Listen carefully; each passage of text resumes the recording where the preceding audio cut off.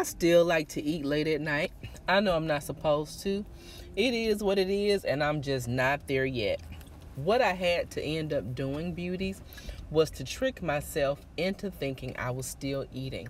And I do that uh, two different ways. The first way is what I've been doing for years. I would make myself a nighttime sorbet. What that is, is just a fruit smoothie with less water.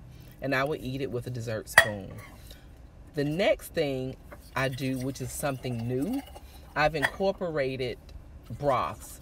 And so today is what I'm going to show you. So after I make a nice vegetable soup, I take thick chunks and put them in a bowl for my husband.